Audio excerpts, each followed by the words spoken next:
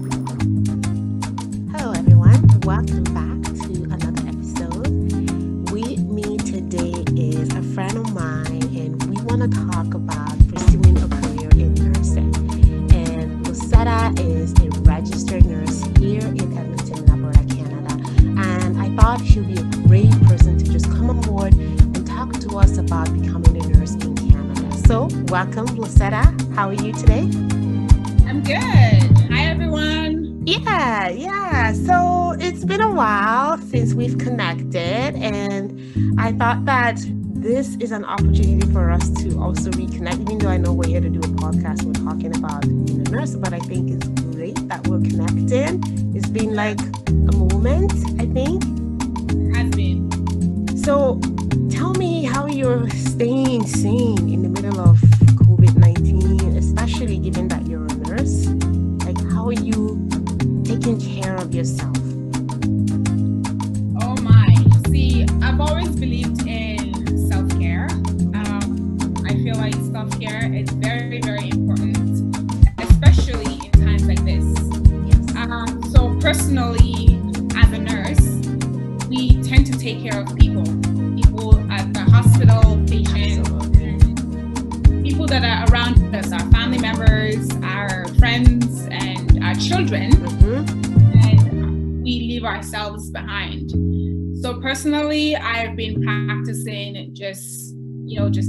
bubble bath, um, just relaxation, deep breathing exercises personally for myself, and a lot of facial, um, personal home remedy facial care. That's why your skin is popping. Like you're just glowing, like the skin, like the brown sugar, like everything you're giving me right now.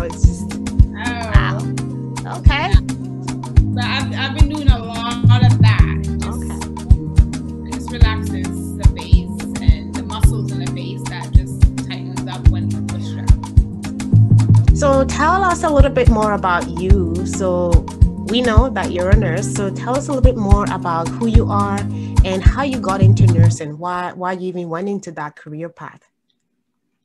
So my name is Lucetta and Marrah, for those that care. Okay, we care. um, so I'm a registered nurse. I work at an inner hospital here in Edmonton, the Royal Alexandra Hospital. Okay. And I have been there for working with AHS, Alberta Health Services, for about going to be 12 years now. Wow, girl. 12 years, eh? Yes, going to be. Congratulations. That's amazing. Yeah, thank you. Thank you. And so I, I got into nursing initially. Um, so I started working at a group home. Okay. And while I was at the group home, I realized that um, I like the, the care that I was providing for the patients there or the clients there in the community. Mm-hmm.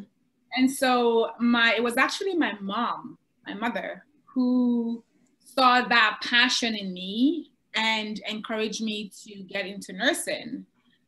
And so I listened to her. I, at first, I thought it was insane because I didn't think that I was that um, compassionate. Oh, okay. Then, you know, our mothers, they always see things in us that we yes. don't necessarily see. Absolutely true. Yeah. So she saw it and encouraged it. And yeah, so I went on and um, went to school for to become an LPN first. Okay. So an LPN basically is a licensed practical nurse, which um, you go to school for two years um, here in Edmonton or in Canada, mostly two years. Um, that would it would diff, it would differ from province to province, but in Edmonton here it's two years. And I worked as a practical um, nurse for about 10 years, 10, 11 years. Wow. Yeah. And then while I was, you know, I worked in internal medicine, general internal medicine. This is uh, a word that basically you see everything across um, the nursing spectrum. So I then realized that I wanted to challenge myself to go even further. Um, given that I had already, um, I already had all my high schooling done mm-hmm. here. Yeah, so I figured, why not just challenge myself? Why um, not push myself, right? And then I decided to go back to school after 10 plus years of working in the field. And I did. And yeah, now I'm a registered nurse. Wow, wow, wow, wow. Like, so I'm just thinking, like, all the money working 10 years, like, did you have to give up a full time job to go back to school for your RN? So, or, like, how did that look like? It was such a sacrifice. It was such a sacrifice. It wasn't easy. It wasn't an easy decision because I had a permanent full time, and those don't come easily. Um, yes. Um, hospital, especially with AHS. Um, so I had to give that up and just take a leap of faith to finish my RN. I lost all the income that I wow making, and yeah, I it's like I said, it's a huge sacrifice. I don't know if you know. Yes, it is. But I had to move actually from Edmonton to Saskatchewan. Oh, that's where you went to school. Okay. Okay. Yeah. So I, I had to leave Edmonton to Saskatchewan to go back to school just to become an RN for two years. So More. is there a reason why you didn't do it in Edmonton? So I could have done it in Edmonton, but it would have been um, online. And personally, I am not an online person. I mm-hmm. tried, I did few courses online through Athabasca University. And I just realized that it wasn't for me, knowing myself. Mm-hmm. I have a lot of family in Edmonton. And so as a result, I am busy with family um, engagements. Of course. So I needed to just release myself to be focused only on um, on school, and so that's what I did. Um, while I was here and taking classes through Athabasca and working full time, mm-hmm. I was just procrastinating. I wasn't really getting anything done. I was procrastinating and just not doing any of my work. So that was actually the, the main reason why I moved to Saskatchewan. Yeah, it's it's a huge leap of faith and definitely challenging to give up all that cash that you've been earning for like 10 years plus and then you're like I want to go back to school and get something higher than what I'm doing. And and right now that you're working as an RN, do you feel like it was worth that sacrifice so far? So far I feel it is. It okay. is um, there's definitely more responsibility. I can feel it. Um, yes. However, the payback is definitely worth it. Um, yeah. yeah. Okay. Okay, so start to tell us a bit about some of the challenges that you might have experienced as you were starting either your LPN or your RN, just share with us what your education was like as you pursued a nursing career path. So, some of the challenges that I encountered basically were um, just as an LPN. Mm-hmm. Um, back then, when I did my LPN diploma, it was the times that nurses were very short. So it was it wasn't as as difficult to get into the program as it is now. Um, I actually, well, maybe let, let, let me not say not as difficult. It was difficult, but yes, not as not as difficult as now. I was actually shortlisted um, for a while, say for about six months to a year mm-hmm. before I was called to say I was in. Actually, I think someone had to drop that year for me to enter into the program. Okay, and I see. All, I quit my work. I think that same day, if I could remember. Wow. I quit that same day just to go back to school. Just to go back to yeah, the second time. Yeah. Yeah, I'd been waiting for it for, for so long. So so that means you were on the wait list to become an RN long before you actually got accepted? No, this is the LPN. This is the okay, the LPN. Okay. Yeah. So um LPN, I was I was in the waiting list and then I got a call that someone had um dropped, dropped out. Okay. I got into that spot. So yeah, and then the program itself, the LPN program itself is very good. The year I did it was actually the year that they stopped the RN diploma program. So I did the first LPN um, diploma program. Okay. I don't know if you guys kind of understand. So in Edmonton or in Canada, before um, in the past, uh, RNs used to only go to school for well, some RNs used to only go to school for two years and they would become an RN, but with um, a diploma RN. So in 2007, okay. that program was stopped. And I think 2007, 2008, that program was stopped. And that program then became the LPN program. The LPN diploma program. Okay. Program. Yeah. That was the program I did as an LPN. Okay and yeah it was going going to school when you are younger as opposed to when i went back to school when i am older mm-hmm. rn is quite different yes quite different. absolutely yeah. because you have different responsibilities. That's how i would see it. Like you know you just life is different when you're a little bit you know older. You have more you know responsibilities. And maybe when you're younger not as much right? So I totally totally get that. So now i've heard that the nursing like you know becoming a nurse is really difficult. Writing the exam. I know people who had to write it more than three times before they finally made it can you share what your experience was like writing the board exam for either the lpn and or the rn um, writing the if I when I, let me go back to the LPN. Writing the LPN board exam, it was basically I finished school. I reviewed. I didn't. Re, I didn't review my notes at all. I review. Uh, I bought a, a review book, which is what I reviewed off of um, for my LPN. I think I reviewed for like three weeks, and I was ready to write it. And I wrote it the first time. I passed. Wow for the LPN. And the RN, I did the same thing because I figured if it, if it worked for the LPN, it would mm-hmm. work for the RN um, NCLEX exam. So I finished school. I it was actually very very difficult with the RN preparing for the RN because it was during the pandemic. I couldn't go to a library. Yes, yes, yes. And what about the pandemic piece? Yeah, that will make it way more challenging. Way, way, way more. I'm not really a home study person.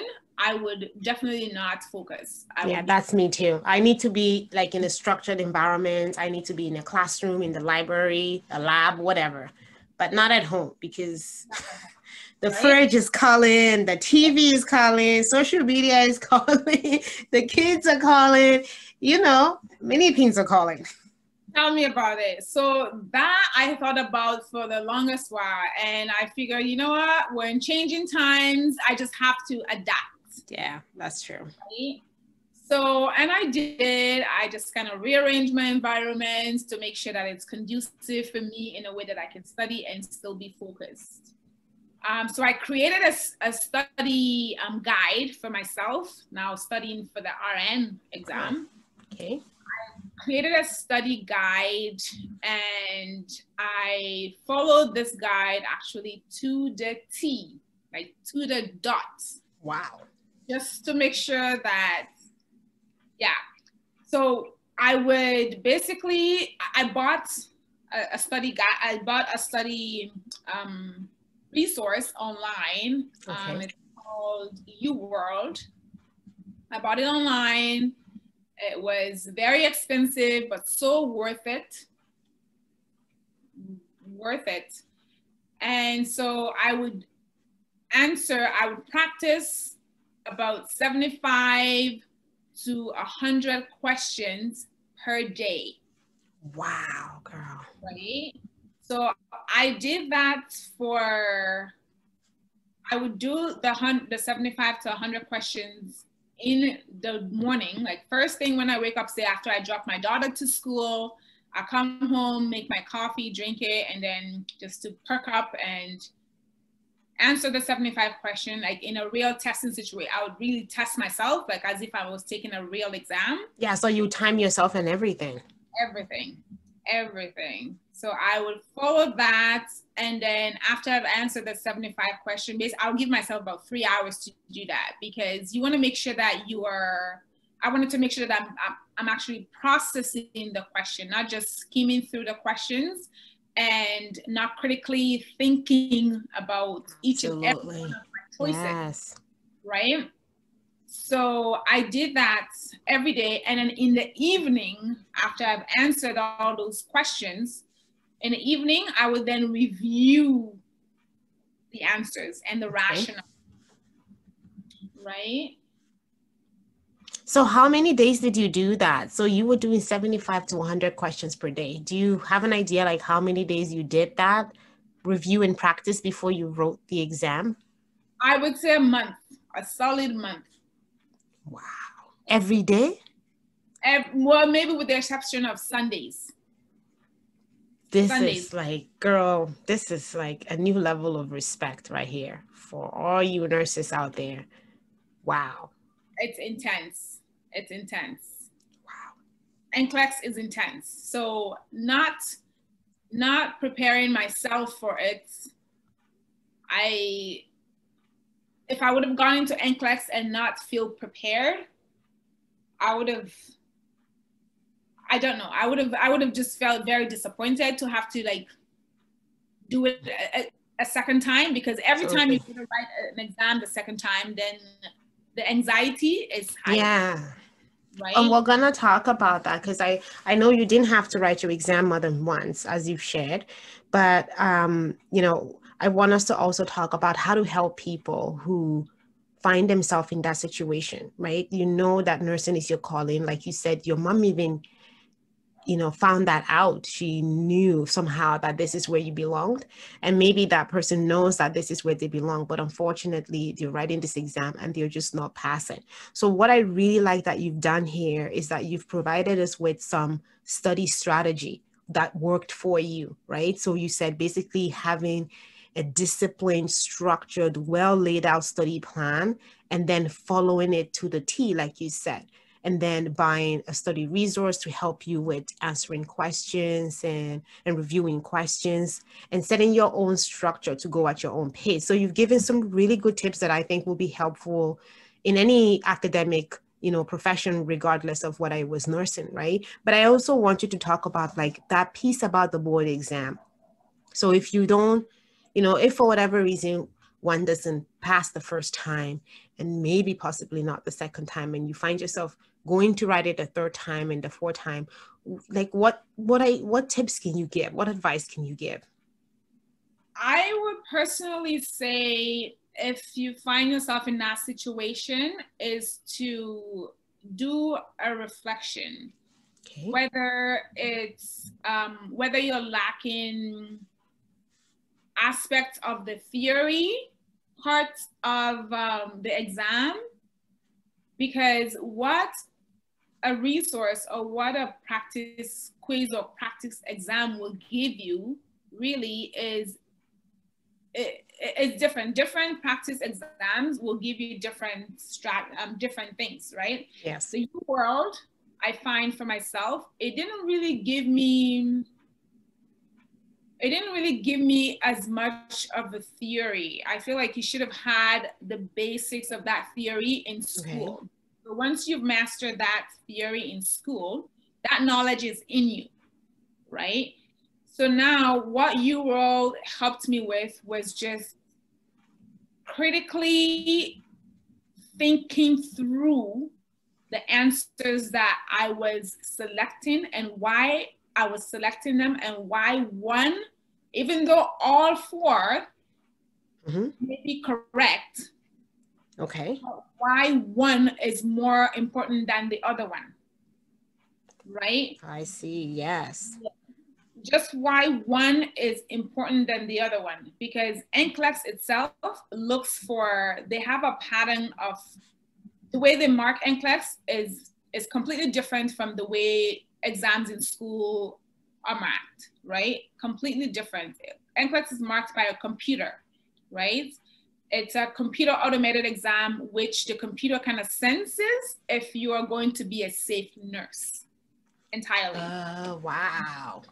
Yes. Let's talk about that a little bit then for our audience to understand that. So it's not so is this does this then mean that it's not marketed based on necessarily right and wrong answers, but just based on like general just the general way that you answer the question, do you fall in a safe category or do you fall in a risky nurse type category? Like I'm trying to process this to understand it a little bit better. I feel like it does market now. It does take into account into account your the knowledge because you definitely need that knowledge to be able to critically answer the question. Mm-hmm. Absolutely, nurse, right? To be safe as a nurse. So in order to be safe as a nurse, you have to put your critical thinking and your inquiry skills to answer those questions. So the, I feel like the exam marks you based on safety, but that's not to say that you don't apply knowledge, right? You don't apply theory. You still right. have to apply theory, right? So that's why having that um, solid foundation in your theory will definitely help you to process the answers that you select, which your computer is going to then sense now you can confuse the computer right you can confuse the computer wherein if you are answering one question right and then one question wrong in the NCLEX, you will definitely confuse the computer because it, it, wouldn't it wouldn't be able to determine if you are if you're going to be safe. Right? Exactly. Yes. And in this instance, the computer then would take you to the rest of the questions that is banked, which is I think in in my situation was like a hundred and I think it's a hundred and yeah. You're allowed to to write 145 questions, I think. So the computer computer is confused, not where to to put you mm-hmm. to the end of the exam. Right? Okay. I know there are myths out there about NCLEX being if you go to NCLEX and you write up until 75 questions and the computer shuts down, okay. that means pass automatically. That's false. Thank you for addressing that. So that's false if you if the computer shuts down after 75 questions. And that doesn't necessarily mean that you've passed automatically. Okay. Thank you. So and it doesn't mean that if the, if the computer takes you all the way to 145 questions that you failed. That's false as well. Okay. right? So therefore, don't panic. Don't panic because I think a lot of people go into NCLEX with the idea that I have to hit 75 question. Right at 75 question, the computer needs to stop, right? It doesn't work like that. So a lot of people, if the computer doesn't stop the exam at 75 questions, then they start to panic. Then they start to, and then they won't even concentrate. I can see that happening to focus and finish the rest of the exam successfully because now you're like, oh, I must have failed. I'm at question 100. I didn't make it, right? Yeah. So you confuse the computer because now you're panicking and you're second guessing yourself every time, every answer, every question that come now, you're second guessing yourself because you already assume that you've already failed, right? So if you continue in that in that path, you're gonna continue to get every other question wrong because now you're panicking. You're not thinking. Yes. Thank yeah. you for bringing that up. Thank you so much. So I also want to ask any advice for guys going into nursing. So we know nursing is a women's profession. Women tend to typically go into nursing and becoming a nurse. And what about for guys? I want to talk about men who want to pursue nursing and who may not necessarily get the support that they would have gotten if they were female from your family or you know society everybody else so let's talk to our african men our black men as well who you know want to go into nursing but they just feel like yeah nursing is is not for men. It's not for macho men. It's for sissy men or, or whatever right? So let's talk to them why it's great for them to come into the nursing profession. It's great for them to pursue that passion and that we welcome them with open arms to be there. So any advice for men thinking about or wanting to pursue nursing? Yeah so again yeah that's just a very wrong ideology of like people saying that nursing is not for men. Um, nursing is so like there are different paths that you can take in nursing. You don't necessarily have to be at the bedside, right? Okay. There are different paths. So I can totally understand why some men will think that um, that it's not for them, but it's wrong. I during the, the the the whole course of the training of nursing, yes, you have to step out of your comfort zone as a man, and a lot of men are actually a lot of men during the, the training of an, uh, to become a nurse are are watched, I should say, carefully, just because I think especially African men, right? Because we we we we believe that. Maybe let me give you an example. I was in a class in my LPN nursing in my LPN um, schooling. I was in a class with a Muslim, black African Muslim guy, okay. right? So he was smart. He was very intelligent. However, he would say such things like, "Oh, I can't change a woman. I can't change like a. Yeah, because in I think that's in your religion, right? Like in your religion, you right. would you would take care of men if you're a man, and then if you're a woman, you take care of a woman. Right. But in a situation where you're going through nursing school, right, that right. you can't bring that up to say tell the instructor that I can't change a patient that's been assigned to you. You can't do that, right? Yes. Now you can even when when you're hired at a job at the hospital you can't even say that right? Yes. so but especially so when you're in school you cannot refuse to care for a person just because they're female because it's like it's contrary or your, religious faith you know or whatever you yeah. you should have known that. You should have done your research. Yeah before you yeah absolutely before you ventured into that career path yeah. Right so I wouldn't say I wouldn't want to discourage men to not get into it because I feel like once you've gone past that um, that that um, instructor phase where you are watched by an instructor and therefore your um, your skills and all that, your assignments, you can't really select your assignments. I feel like you'll be fine once you you've gone past the schooling, right? Okay. Into the workforce, you then are able to dictate or a little bit able to dictate a little bit where you want to work as a nurse because there's a lot of places that you can work as a nurse not necessarily at the bedside. Yes. So you can i've seen now now especially now a lot of men in the nursing field at the hospital that work at the bedside they now have been moving them or promoting them to like managerial positions right so i feel like if you know your job and you've put in the sacrifice and you're not um you put in the sacrifice there are different paths that you can take. You can do okay. home care you can do you can become a management different types of management you can get into.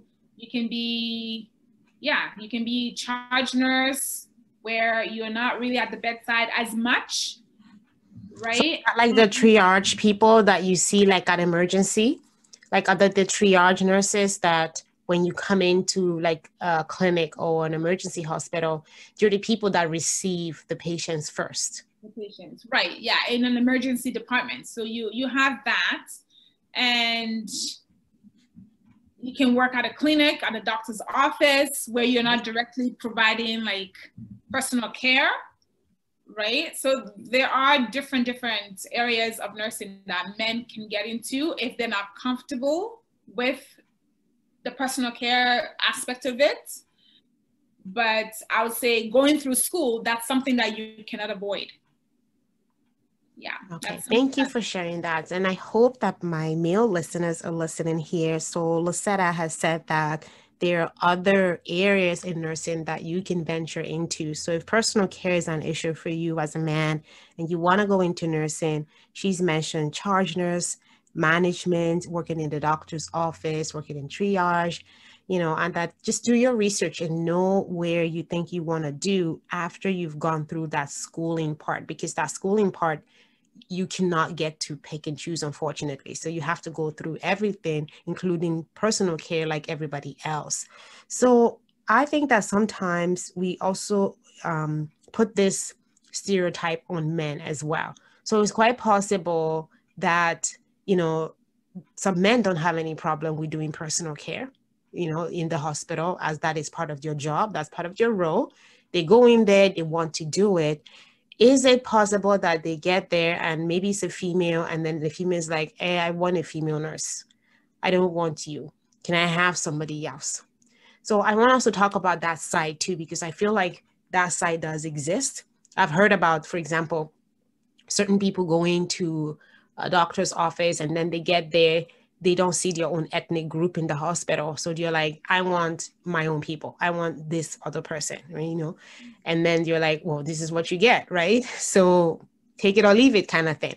So I want to talk about that as well in this perspective. So what if it's the patient now who is perpetuating this stereotype because you go to the hospital or to the clinic or wherever, you expect to see a female nurse because again, it's a, it's a job that are, is traditionally performed by women but you meet a man, he's obviously very qualified, nice enough to do his job, but then the patient says, No, I don't want a male nurse, I want a female nurse. How can we educate our listeners about that bias as well? So that's something definitely that that happens at the hospital. Okay. Um, it does happen and I have to say that patients have the right to refuse. Okay. They have that right. That's their that's their right to refuse. They have the right to refuse care. They have the right to um, now they don't have the right to, to select the nurse that they want to to work with them personally on say on the issue of like a race type thing they don't have that right right okay they don't have they if it, in terms of religion when a patient refuses to be taken care of say by a male the female we tend to encourage them to perhaps um, have a family member. This is like in the days where family members would come to the hospital right. Before covid yeah yeah, yeah. the personal care, like the washing and bathing, to like the family members to do that when they come, if that's their personal preference. Okay. Right? So we have that option. Or at the hospital, if that option isn't available, mm-hmm. we work in, in teams at the hospital where in one team you have the RN, the LPN, and a healthcare aide in one team. So there has to be a female in that group of people, in that one team that's caring for the patients that you're caring for. So then you can then assign another person, a female person that's preferable preferable by the patients to care to do the personal care. Okay. So options basically. So there are options exactly to work around that. Okay, so no need to be discouraged if you're a guy looking into pursuing nursing there are people out there like Miss Lucetta who's more than happy to, you know, just show you how you can go about doing this by educating yourself, just do some research, read like she said, or ask questions basically wherever you are, right? Yeah, ask questions. So tell us now what a day in the life of a nurse looks like. So I want to know what a day in either general internal medicine that you talked about earlier or in your current role or maybe even both? So a day in the life of a nurse. Um, so basically you leave home you get to the hospital okay. mask up you have to wear a mask before you enter into the hospital mm-hmm. and wear a um, facial goggle before you enter. And then you get there, you um, there's a thing on the AHS website that we have to um, complete before we get to work. It's called Fit for Work. Okay. So each, or each person that goes to the hospital has to be fit for work, especially um, in terms of COVID, right? Yes. So then another nurse has to look at that um, fit for work questionnaire that you would have answered and sign you off to say that okay you did that. You you can be signed off. So you do that. You sign in your name just like you were clocking. Okay. sign on a piece of paper. And then you pick up your you look at the team that you're in.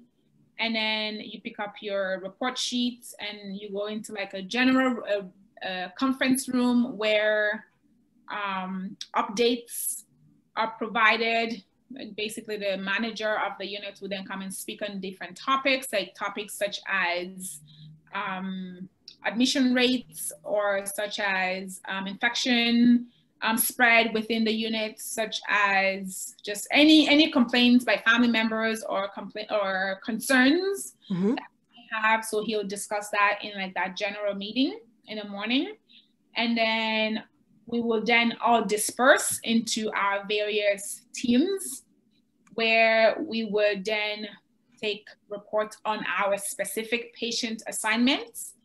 And then yeah discuss amongst ourselves as a team after we've received reports from the night shift. Basically if it's a morning shift you're working you get reports from the night shift on your patients how they did last night overnight and what happened what changed or just basically any updates. And then we will then kind of huddle within our little teams and then just talk about what how the day is going to go and how the day looks like. If my team member is busy or has a busier assignment we might just kind of do some adjustments to um, usually the rn would then kind of like do like kind of readjust the assignments for that team and just make sure that like the assignment is fair and then that, that the RN is taking the most sick patients, like the most acute patients and not leaving the most acute patients for the, for the LPN. And yeah, I think just that. And then we all kind of go about our own personal assessment to our patients and um, yeah, and then just huddle as the day go by. Okay. So when you're moving from patient to patient, what is that like? So we see so many things on TV. I'm just, uh, my head is, you know, spinning with a number of questions. So, do you always have to change your face shield, your mask, your gloves, like every single thing when you go from patient to patient, even though you might be visiting, let's say, 15 patients within a few minutes of each other? Mm. Yes. So, what, what does that what does that look like? So yes, we do have to change our PPE. Mm-hmm. PPE in between patients. So uh, that means like our goggles, our masks, our gloves, our gowns. Gowns, okay. Washing of hands before you get a glove, washing of hands after you take gloves. Just like how many times a day do you guys wash hands? Have you mm-hmm. ever counted? Just curious. It's, it's hard to count because you get so used to it that oh my gosh you're not gowning or you're not doff, you're not donning like putting on gloves doffing or donning yeah that you you still even if you're just walking along the hallway because you have people watching you too right? We have extra eyes who are monitoring uh, donning doff oh so yeah. like so when you want to t- okay i want to make sure i understand this. So every single time you have to change your ppe between patients there's someone actually making sure you're doing it right so do you have to do it like in a station and then there's somebody stationed in that particular spot? Or like, or is it just a random person who's like uh, undercover police watching? The person is known to everyone on the on the unit. Okay. Okay. Colleagues, right? So the person is known.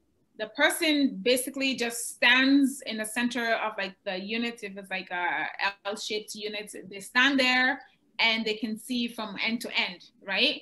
So basically, ah, okay. as soon as they spot someone going into a patient's room, then they know to keep their eye on that patient. And then if they spot another person there, they know to watch that person, how they're donning, how they're doffing, and how they're donning, right? And they are then, they will then correct the person if you've done it wrong. Okay, so it's not like you're gonna lose your job if you do it wrong more than once or something. It's just the person is just there to educate and provide support and be like, okay, you missed this step. Can you redo it? Yeah. Okay. You missed a step. Just don't do it next time. Correct? Okay. Yeah. What if you do it next time? Then what? Well, then you probably be, you probably have a talk with the manager. Oh. not cool. So you guys are going, you know, you guys are doing so much, and I want to use this uh, moment to just say thank you so much, Lucetta, for your service as a registered nurse on behalf of, you know, I want to stand in the gap on behalf of Edmontonians to say thank you for what you do and so many other nurses and frontline workers out there because we're in this pandemic. It's over a year now. And the sacrifice that you guys have to make, like I'm just thinking about the washing hands alone and all that thing that you, all the things you have to wear. It's a lot on your face, might even be feeling like you're suffocating sometimes, like you're heating up, it's too warm, you know, you know, all that, all that extra stuff that we didn't used to do pre-COVID that you guys have to do now every single day. You know, some of us are complaining about wearing masks to go outside, but you guys don't have that choice. This is what you do. If you work eight hour shift, 12 hour shifts, this is your life. Mm-hmm. You know, so imagine um, the sacrifices that you're making and the reason why the general public needs to honor that sacrifice by making sure that we're taking the necessary precautions and doing the needful. Mm-hmm. So Definitely. thank you. Definitely. So, do you take care of COVID patients? I'm just curious what that what that is like caring for persons who have COVID. So I did in the past, okay. um, but how they the unit that I'm assigned um, to right now, how um, AHS specifically the the the hospital I'm at have um, worked things out is that we have designated COVID units. Okay. Right. So we have designated COVID units that are only for COVID positive patients. Right. So my unit is not a COVID designated unit, but I did work with COVID patients in the past.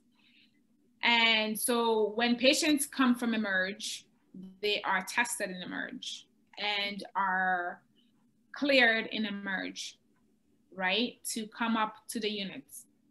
So then they're dispersed onto the various units. They come onto my units. If they are, they don't, they're not positive anymore, but if they're positive, then they go to different units. However, they can still come to my units if they test negative for COVID, but they still have symptoms, right? So when they come to my unit, they still have symptoms, we still isolate them. Of course. Yes. Right? Mm-hmm. Because with this whole situation, you never just know, right? Yeah, you never know because the virus keeps changing, right? So yeah. they may have tests negative and emerge, and then maybe five days later they're showing massive symptoms, and then they become positive. Mm-hmm. Okay. Yeah. So we do still keep very close eye on them and isolate them, and we take proper proper precaution to make sure that we're mitigating that risk. Yeah. And just curious, have you were any of your patients like African people, black people? With COVID? Yeah, with COVID. Oh yes. Oh, and, wow. and that's um, that's it's it's such an irony because a lot of African people initially, I, I, I should say. Initially, yes yeah, let's preface that. Yes. COVID affects Black people, right? I think we know that now. you know, and excuse that we're laughing about it, but well, you know, we know that now that that it does. Like we're not made of stone. Our immune system is not as hard as rock. Things do permeate. And COVID is one of those things that can permeate. And research shows that COVID, in fact, is um, it, it affects people of color more than it does white people. Right. I saw the research. Yeah. The reason for that is that we live like people of color um, live in like homes where our mothers are in, our grandpas are in, mm-hmm. children, grandchildren, multi-generational homes where um, Canadians white people, they only have nuclear families living in the same home. Yeah, most times, yes. So in situations where we have multi-generational people living in home and you would also find healthcare workers in that home, mm-hmm. right? It's it's basically like um it's, it's just a disaster for COVID. It's just a perfect storm. Yes. For, for COVID to spread. Perfect storm. Perfect environment perfect environment. Yeah. You're sharing beds, you're sharing like a tight space, you're sharing everything. It's a perfect place for COVID to just ravage through.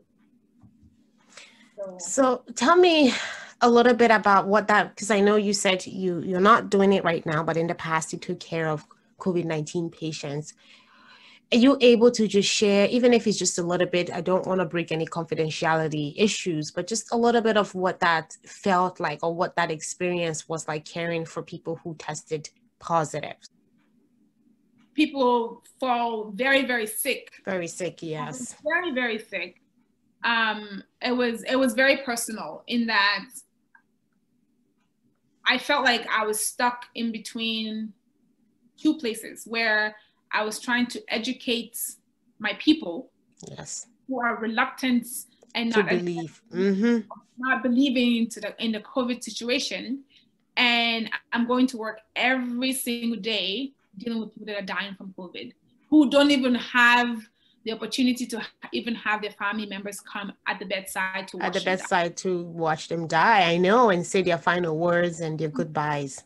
So it was very, very difficult that situation look like a patient who is not able to breathe, who is, even though they have all the supports of oxygen, they're still not able to communicate. Their words are very limited. They will say one word and they go out of breath and they're very wow. like weak. They're not able to eat. And we're supporting them in every way possible, whether it's through nutrition through their veins or every way possible, just to kids. So they can't speak like it's exhausting to talk? Very exhausting. Very, very, very wow, exhausting. Wow. Because with every speech, you're using energy, right? With every speech, you're using all that energy that you have, that reserve that you could utilize to just hold on, right? So if you're using that, using that, then it just becomes that much more difficult, right? And that's the reason why a lot of patients are then intubated into ICU because if it's already difficult for them to breathe and they're using that extra reserve of energy that they have to talk and do other things, then they might as well just intubate them and just like have them just relax, right? Yeah. So COVID is real. COVID is very real. It's very difficult for healthcare workers um, to see that aspect and of, of people being sick at the hospital and caring for them and continuously masking at the hospital. Yeah, continuous masking. For 12 hours, 16 hours a day. And just that effect that it will have on healthcare workers, the, the, the, the, the long-term effects, we don't even know what that long-term effect Yeah, the long-term mental health effect, physical effect as well, you know, right. because I've been seeing people with like scarring from wearing this mask and everything else all day long, many days a week. Hence why I have to, I have really increased my facial regimen during this pandemic because like person I you see people break out. Like I don't know if you can see close, but like you break out. You feel like you're just personally I feel like I'm like you get headache just even from wearing continuously masking. You yes. get because you're breathing in your own your own your own CO2, right? Which is yeah. a waste product. You're supposed to breathe that out. Your That's body true. needs that waste to be breathed to, to, to come out. To come to, out, yeah. Right? So it's very difficult when people don't listen to public health guidelines. It's just like, okay, I know you want to live your life, but at the same time, until this is gone, you can't really live a life that you want to. No, you can't because this involves the rest of us too, not just you. Yeah. Like if you don't want to care about your life, you must care about other people's life. So it's so important. Thank you for sharing what that experience is like caring for COVID 19 patients. And the reason I ask that is just for anyone out there who's still kept skeptical. I believe that, you know, a number of us, you know, our own community included have uh, seen things differently now than they used to initially, right?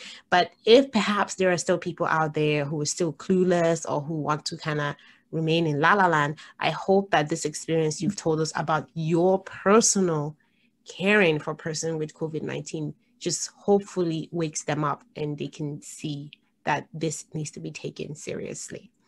So, I want, I know you told me that you have gotten your vaccine. I also wanted to just take this opportunity to let us know what that felt like when you got your vaccine. Did you have any side effects? Were you sick, ill? Um, anything at all that you want to share after you got your vaccine?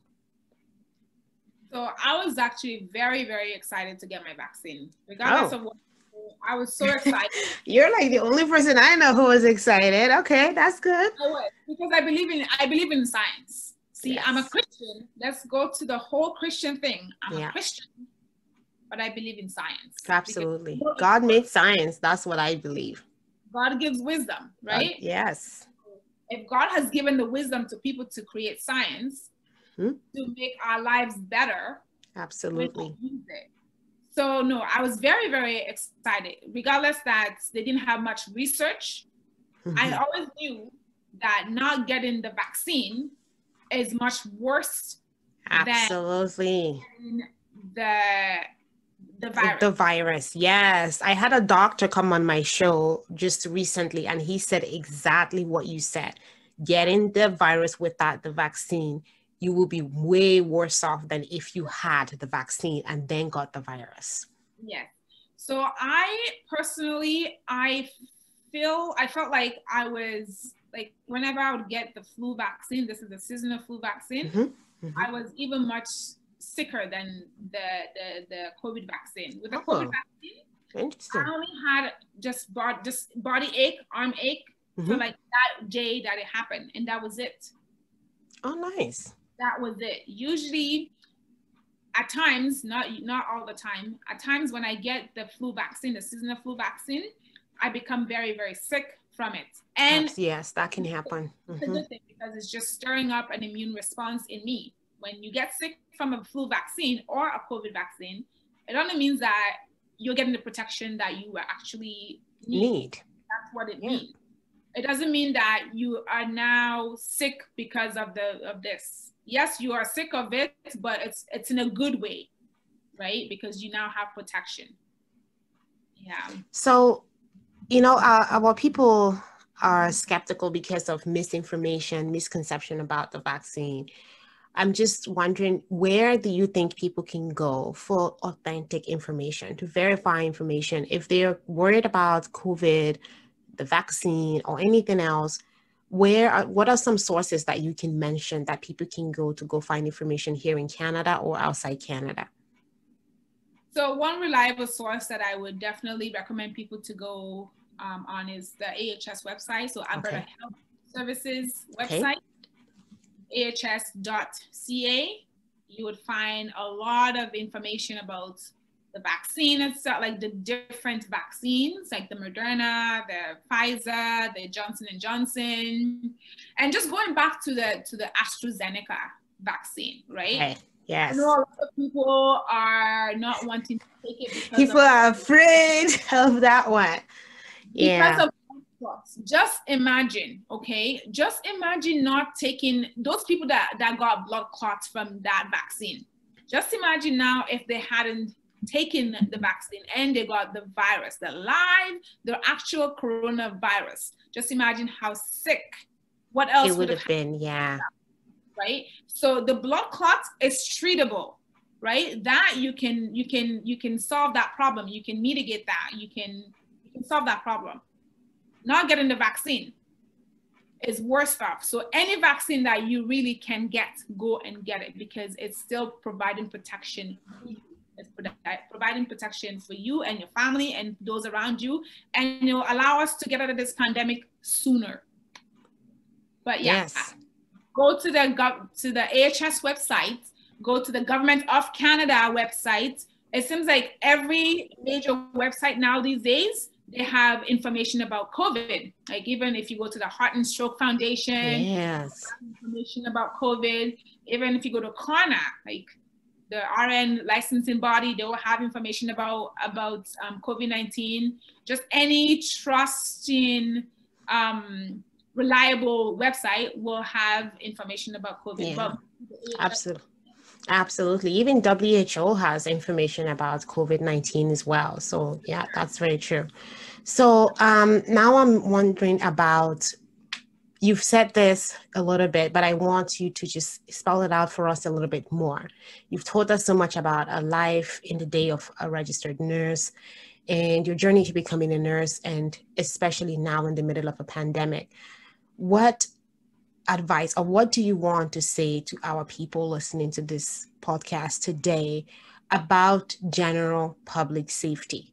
What should they be doing? How should they be protecting themselves and protecting others?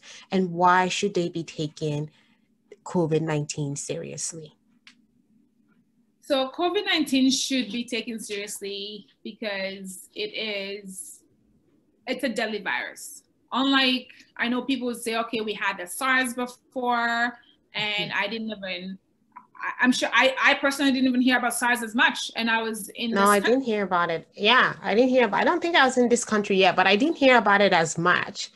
As I think, it, yeah, yeah, but yeah, so you're right. It has a high infectivity rate. Yes, low mortality rate, but high, high, high infectivity rate. So therefore, it's it will spread like wildfire, right? It will spread like wildfire. It kills less, but now with the new strains, it's the, mm. the mortality rate is going up, right? Because right. now the virus has learned to like just mutate. It, like, it just keeps changing its form. As soon as they try to uh, with especially with with uh, migration and stuff like that just movements from one place to the other it just changes its form so it's very hard to kind of control a, a virus like that except if you actually follow the guidelines of the, the public safety guidelines yes. and if you don't follow them yeah. such as like washing the masking when you go out in public and not um, gathering in public. Not gathering for parties. Just follow the public health guidelines. Not not having secret parties. No. yes. So people are like throwing like parties in the in the dungeon somewhere in your basement. Or like damn. Uh, people, and if you are, yes, I understand summer is coming. Oh yes. Socialize. Barbecue yes. season barbecue with your family at home outside. Go to the park with your family with the people that you actually it's just it's not the same. If you if you barbecue just with your immediate family it's not the same right? But when you have like huge gatherings with your neighbor and your friends from wherever else that's when you feel like it's a party. That's do you know what I, I mean? I know. But just imagine if you can get out of this in like a couple months then you're able to do that. Then we can do that. There you go. Right? Yes. Travel. Look forward to like what is ahead. Like the traveling part of it. Like that's what I'm looking forward to. If we can crush this this virus, I can travel. Yeah. Am, yeah. I'm so wanting to travel. Like I haven't traveled in, you know, two years and I miss it. You know, mm-hmm. I miss it. I miss being able to just go visit people. Hey, are you home? And the person's like, yeah, I'm home. And then you mm-hmm. just, you know, pick up your car keys and off you go. Yeah. So I miss all of that. But like you said, if we want to return to some level of normalcy, yeah. we have to take the public health precautions. We have to follow the public health guidelines. And then we can arrest this virus, you know, put it where it belongs, and then we can move on with our lives somehow. But we can't do this, we can't travel, we can't have the barbecue season, we can't have all of that until we do what Lucetta has just told us. And you've heard from a nurse herself. So I think um, what better way to drive home the point, but you sharing with us firsthand um, your own experience in hospitals and clinics. So we are very close to the end of our conversation today. Any advice, just general advice to people who are listening today who either are skeptical about the vaccine or the or even the virus itself. Any general advice to them? I would say take the vaccine right? Okay. Without the vaccine we would not really get to herd immunity right? We need to be able to get to herd immunity to be able to crush this virus really. And just because people are getting infected, it's not as, it doesn't provide as strong of an immunity through infection as it would if you were to get vaccinated. So get vaccinated. That's how we would get to the end goal of this entire pandemic, right? Vaccination is not new. No, it's not vaccination yeah. that all of a sudden that is the mark of the beast or yeah there's all kinds of stories yeah it is so yeah. not the mark of the beast if if you think that you are being marked and to be traced and followed around by a government you're already being traced and followed around by a government yeah you, your social insurance number is doing that for you not it. Yeah, this, no. is it. this is simply a virus that's ravaging the world and we need to just crush it. So taking the vaccine is the best that you can do for yourself, is the best that you can do for the world, is the best that you can do for your family and your loved ones to just kind of save their lives. And not doing that is basically doing the, the, the opposite of not not saving your loved ones' lives because then they're dying. Wow. Right? You don't know if your family is next in line. So you want to do all that you can to save their lives. Wow this is heavy information that you just said right there. That is huge. Basically, the vaccine is just not about you, but it's about the people that you love and the people around you. So saved your lives. Thank you so much, Lucetta. Last thing I want to ask is any final key advice to people who want to become a nurse? Nursing right now in the middle of a pandemic is way more difficult, way more challenging, as you've shared already. It's not like it used to be pre COVID because there's all these extra layers, all these extra precautions that we need to do now. So, anybody who's thinking about nursing, any advice to them? I would say if don't get into nursing because of the money aspect of it. Mm. Get into nursing because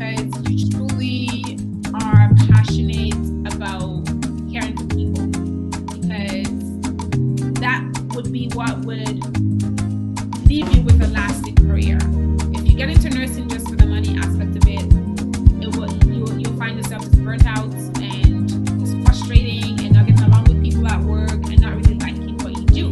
And not liking what you do will affect your home life, it will affect your work life, it will affect your every aspect of your life. So do it because it's really truly what you actually want to do and that you love the interaction with people, you love to help people that, yeah, just don't do it for money.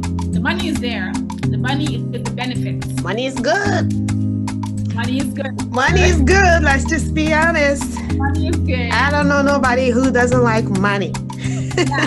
Myself and you included. But still, we spend some research say we spend more than 60% of our life at work so imagine if you didn't like your profession that would be horrible like you just said so make sure you do it for the passion for the love of it and not just for the money thank you so ladies and gentlemen thank you so much for listening to today's episode with Lucetta, a registered nurse here in edmonton alberta and uh, it's been a wonderful conversation chatting with you Lucetta. Thank you so much for coming. Thank you so much for giving me your precious time. It's been wonderful. Thank you. Thank you so much for having me. You're, welcome. Oh, thank you. thank you.